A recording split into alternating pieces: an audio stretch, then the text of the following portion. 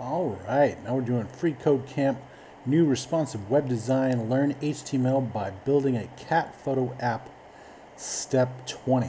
All right, we just added this H2 to this section, this new section we're in. And uh, after the H3 element, excuse me, we just added this H3. After the H3 element uh, with the, the things cat love, cats love, pardon me, text, uh, we're going to add an unordered list element. And we're going to also note that nothing will be displayed at this point. So after this, we're just going to go like this.